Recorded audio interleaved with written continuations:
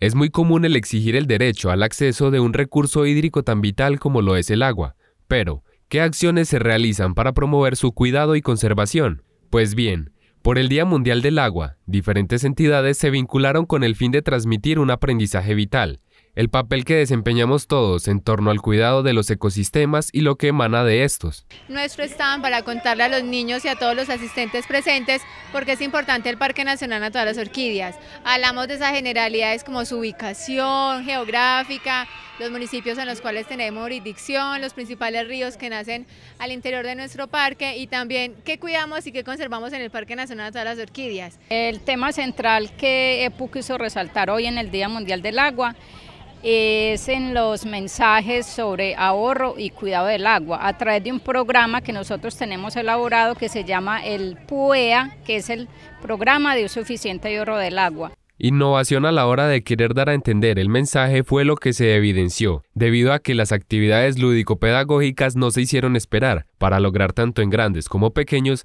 el despertar su conciencia ambiental. El páramo es muy importante porque ahí sacamos todo el agua que gastamos en nuestro municipio. Sin agua no hay vida, no hay flora, no hay animales.